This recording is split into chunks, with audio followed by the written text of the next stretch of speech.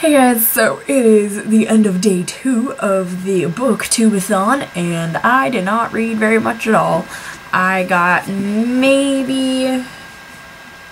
I got like 100 pages read today, so that's, you know, that's not terrible, but it's not what I would have liked to have done. I am still reading Champion, as you can see, so I didn't get into Days of Blood and Starlight. I'm hopefully going to finish this before I go to sleep, though, which I'm pretty sure is what I said yesterday, but you know, whatever. So I guess my goal for tomorrow, which is the last day of booktubeathon, is to finish Champion and at least one other book of some sort. I only work four hours tomorrow, so I shouldn't, you know, have a lot of time taken up. But uh, we'll see what happens. So let me know how you guys did down in the comments below. And I will see you for tomorrow's update, which will hopefully be a little better than today's. Bye!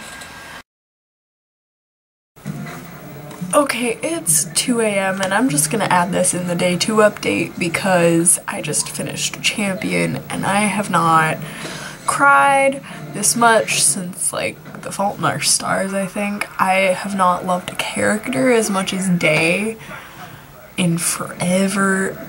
I think I will do a, a book series review on the Legend series really soon just because it's so good.